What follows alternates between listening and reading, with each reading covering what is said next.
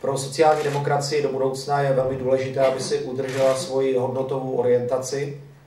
My jsme strana, která je skutečně definována především programem a jsme stranou, která dlouhodobě bude i nadále stavět na spojení myšlenky sociální spravedlnosti a myšlenky demokratického politického systému. A právě spojení těchto dvou hodnot do značné míry definuje a určitě bude definovat sociálně demokratickou politiku i v příštích letech. My samozřejmě dnes neseme vládní odpovědnost, snažíme se prosadit maximum z našich myšlenek do politiky vlády, do eh, činnosti vlády, do toho, abychom zlepšili situaci v naší zemi a pro sociální demokracii je velmi důležité, že po sedmi letech v opozici můžeme náš program prakticky realizovat.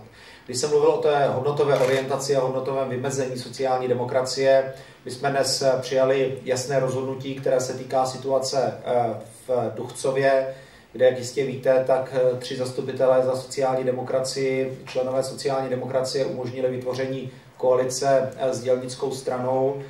Dnes ústřední výkonný výbor jednoznačně svým hlasováním tuto koalici odmítl s tím, že pro sociální demokracii je hodnotově a programově absolutně nepřijatelná.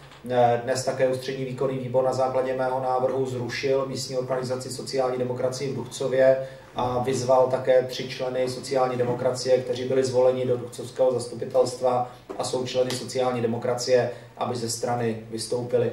Myslím, že to je jednoznačná, zřetelná, jasná reakce Jednoznačně jsme se dnes distancovali od toho řešení, které zvolili někteří sociální demokraté eh, v Duchcově a je to jasný signál i české veřejnosti. My se nedomníváme, že lze na jakékoliv úrovni spolupracovat s politickými silami, které propagují rasismus, s politickými silami, které propagují porušování eh, lidských práv a svobod.